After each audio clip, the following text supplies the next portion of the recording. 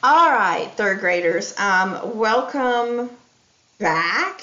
Um, what I thought I would do today is walk you through how to navigate um, the, the sites for this next biome assignment. So once you have made it to uh, the Google Classroom, for whichever school um, you are at. This one happens to be uh, this particular school, and the other one would have the other initials.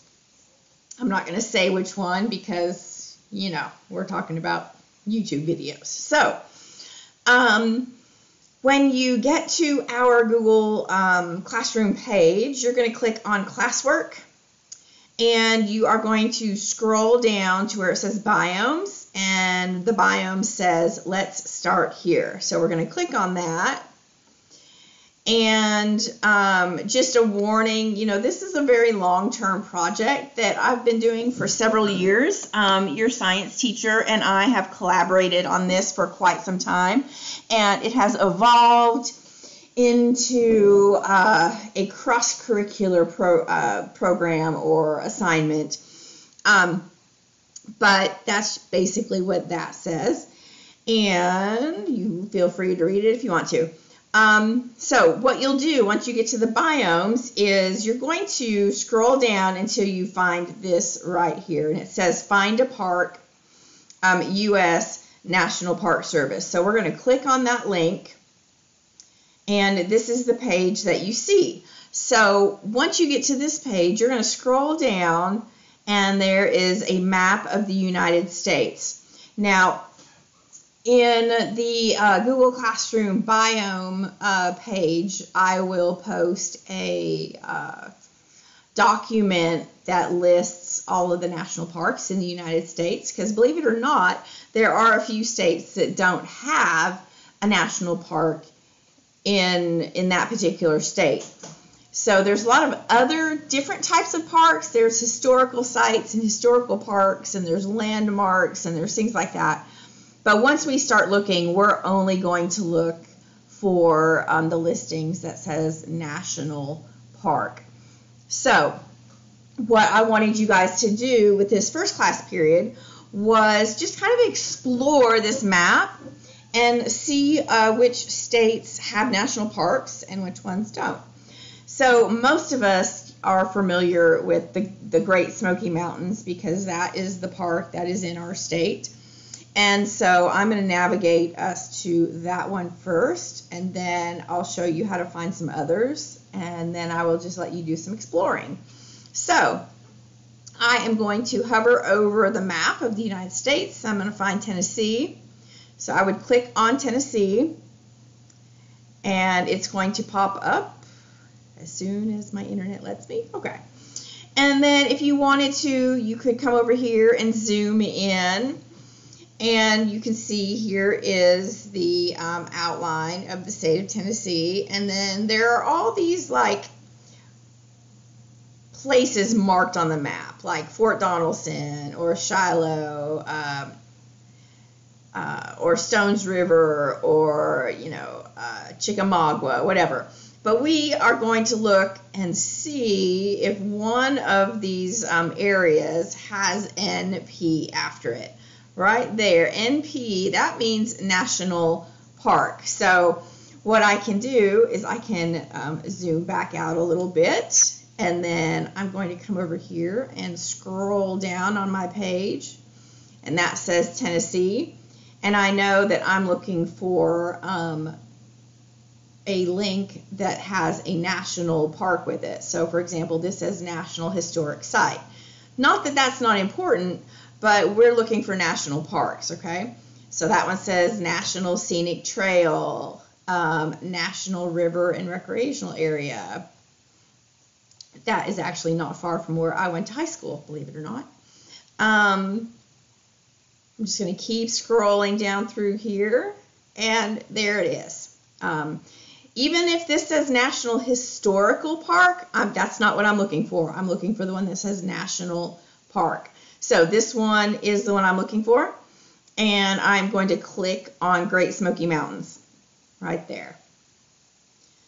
So that brings me to the Great Smoky Mountains National Park Service uh, web page, and that's just for this um, national park. So there is a picture of the Great Smoky Mountains. Um, if you scroll down through here, there is um, lots of information on the home page. Um, and there's you can you're you can click on any of this. That's fine. If you wanted to go see the black bears, or you wanted to explore Cades Cove, or looked at wildflowers, or you know things to do, uh, current conditions. That's like what the temperature's like, the weather conditions right now, and then camping information. Oh no, okay, there we go. So if you look right here underneath where it says Great Smoky Mountains, there's these tabs right across here. Um, this one will give you um, information, things to do, um, places to go, um, just general information about the park. But if you go to here where it says learn about the park, what you can do is you can scroll down through there and it's going to give you news about the park right now. But since this is an art assignment, this portion is the art portion of the assignment, we're going to go here to uh, photos and multimedia. And you're welcome to look at anything you want to, boys and girls, but this one is the one that I'm going to focus on. So it says multimedia presentations, and then it also says webcams, and we're going to talk about that. But I'm going to go to the multimedia presentations, and I'm going to see what's here. So I clicked on that, and I'm going to scroll down, and it's going to, you know, it might have videos, it might be a slideshow, um, but it's going to tell me about uh, specific things that have happened or are going on in this particular park. So, you know, back in 2011, there was a tornado that came through the park. So, if you wanted to watch a video um, podcast about that, you could watch that. There's also uh, a video about white nose syndrome, which is um, it's a it's a disease that some of the local uh, native bats are catching. And there are um, ways that we, as visitors to these parks, can um, help stop spreading that particular disease. So, if you wanted to learn about that, you could. Um, climate change, uh, climate change, and red salamanders. You know, there are pictures of you know the elk that um, are in the area. So there's all kinds of things that you can scroll down through here and look at. Um, spring wildflowers, that might be kind of nice too. Um, and then there's that. Um, you could also go back up here and go back to photos and multimedia. You can scroll over and go to webcams. Webcams are really cool um, because you it takes you directly to the park right now what's happening um, in that park real time. Okay, so that means um, whatever this camera is pointing at in this area, it's going to show us what's happening um, in that particular part of the park. Um, so let's just click on one. Let's see what's over here. This says purchase knob. So let's click on that. And we can watch and see what's happening. So if I scroll down, it's going to show me what um, it looks like from this webcam in the Great Smoky Mountains area right now. So um, let's see what else we can find here. We can, uh, well, Yep, there we go. We can make it a little bit bigger so you can see it. That's You can see that there's snow on in the Smokies right now. Um, you can see some of these points that have some snow on, so that would be a much higher altitude. Um, let's see, scroll down. And it will update every now and then. So like a lot of the other um, national parks, it gives you a countdown and it updates the scene um, every 60 seconds. So there's always a chance that you might be able to see some of the wildlife um, in the parks by watching the webcams. I think bears in the Smoky Mountains like to move around quite a bit in the morning, or like really, really early morning. So you'd have to, you know, watch while you're eating breakfast or something. Um, let's see. I'm gonna. I want to get out of this air thing, so I'm gonna go up here to my back arrow, and I'm gonna back click. Oh, I gotta close this page out. So there we go. So that's the one I just visited. I could click on any of these. Um, Clingman's Dome, um, Twin Creeks. There's another one behind it there. I don't know what it is though. Um, Look Rock. What's this? Newfound Gap. Clingman's Dome. Clingman's Dome was closed the other day, but we can go and see if maybe it's back open. Maybe we can watch what's going on in Clingman's Dome right now. So Oh, it's out of service for the winter. Clingman's Dome is one of the highest points in the Smoky Mountains, and so um, there's a lot of snow and ice on up there because it is so high in altitude. But I think we can look at Newfound Gap. So we'll just look at one more here, and then we'll go see another um, page and see what we can see. So this is the view to the southeast part of Newfound Gap and that's an area that newfound gap means that's what that particular area of the park is called. It might be the name of a trail that you take to get there. It might just be what that region has been called for years. Um, but here you can see, um, ooh, snow depth, nine inches. What about that? That'd be some good sledding right now. So that's what it looks like right now at 2 p.m. Pacific, oh, sorry, 2 p.m. Eastern Standard Time because they are an hour ahead of us here in this area. So that's kind of what that would look like. So if you wanted, that is, you know, how you can kind of navigate around the parks. Um, some parks have more um, information than others. Um, I know for a fact, like um, some of the big name parks, like um, Yellowstone or the Rocky Mountains, um, some of the really, really massive, hundreds and hundreds of acres parks have more web cams and things. So let's see. Let's go. We'll go to Yellowstone because I know that's in Montana.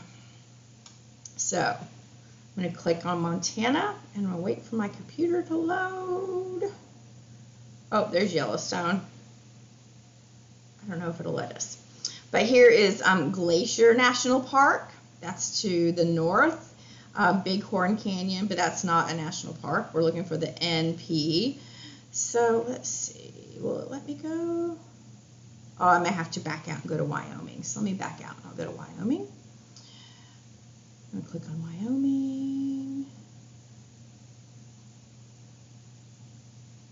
There it is. So Wyoming has um, a few. You've got the Grand Tetons National Park, Grand Teton, and then there's also Yellowstone National Park. So I know, you know, if I scroll down through here, underneath here, I'm going to be looking for um, Grand Teton or Yellowstone. That is pronounced Butte by the way. I know what it looks like, but it's Butte. Okay, so there's Grand Teton. Let's just go to Grand Tetons because I haven't messed around in Grand Tetons. So there's the Grand Tetons, and that's what those mountain ridges, you know, are referred to as. Um,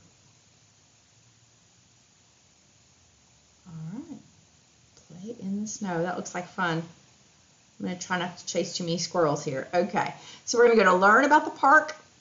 Um, there's nature. We could click on that. It's going to show us animals. Um, it even breaks it down into what kinds of animals you could find in the park. Plants, the types of plants that you would find. Um, natural features and ecosystems. So that is going to be an area that you're going to want to look at when we start really focusing in on um, what biome our um, park is in. Um, and it is subject to wildland fires. You know, there are fires in these parks. So there's lots of things you can explore in these um, drop down menus. So let's see. Oh my goodness, I'm so sorry about that. There we go. Um, so if I go back up here, photos and multimedia, there's a photo gallery, there's multimedia presentations, and there's the webcams again. I'm just going to hit this photo gallery right quick because I know there's going to be tons and tons of pictures, and there we go. So here's one photo gallery. This is just the landscape. So this is going to be pictures of what the park looks like inside the Grand Teton National Park. And it has 176 images, if you see right there. Um, down below there, there are um, plant images. If you scroll down below there, there are wildlife images. Wow, a lot of wildlife images. Look at that, 113. And then um, visitors to the area and some history. Oh, wow, look at that, y'all. I think we should take a field trip. Okay. Um, there's some more best, like some of the things that people like the most. And then students involved. Ooh, volunteers. That might be something when you get older you think about um, exploring that. You could go and volunteer in the park and get to stay. That would be fun. All right, so um, if I want to look at these pictures, I can click here. I could click there. I'm just going to go here because I know that that's going to work. So and then there are different areas in the park. So this is Cascade Canyon, Main Canyon. There's Death Canyon and Creek, uh, Avalanche Canyon, um, Garnet Canyon, um, Paintbrush Canyon, Bradley Lake, Taggart, Taggart Lake, Jackson Lake. Oh wow, we may have to look at Jackson Lake. So there's tons and tons and tons and tons of photos. And look at there, look at all those pages that you can go to. Um, and I'm going to guess that there um, also these pictures have been taken at different times in the year, just because um, you see snow on way up here doesn't mean that it's going to be that cold um, down here, and that has to do with altitude. Oh my goodness, what did I do? Um, it's going to have to do with altitude, and we will talk about that a little bit later um, and explain that, what altitude means a little bit more. I want to look at, oh, come on now, work with me here. There we go. So I'm going to look at this one.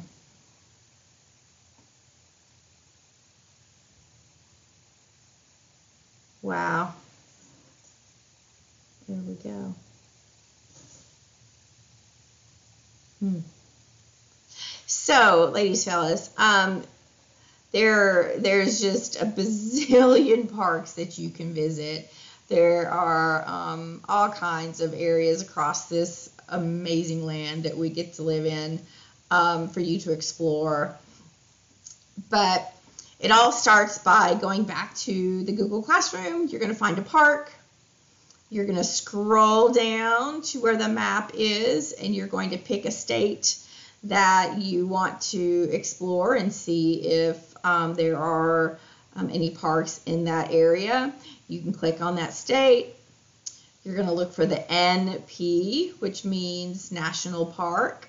And, you know, look, there's another one right there. So I know when I scroll down here, there it's going to be National Park. Click on that, and then you can play in those drop down menus. So, um, I know this was kind of a long video explaining what we were doing here but um, sometimes it helps to see someone else do it. So um, I thought I would try my first uh, screencast here and uh, walk you guys through how to use that particular site. So get on there, play around, find some parks that you're really interested in maybe um, doing your art project about, your art assignment.